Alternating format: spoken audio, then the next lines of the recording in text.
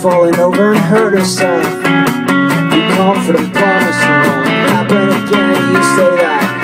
everything will be alright. As she kisses a fresh bruise and wipe a tear from her eye.